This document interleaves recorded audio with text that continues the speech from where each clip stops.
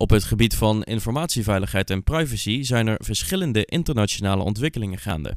De gemeente Meijerijstad volgt deze ontwikkelingen en handelt hiernaar, zodat de gegevens van de burgers, bedrijven en instellingen uit Meijerijstad voldoende beschermd zijn.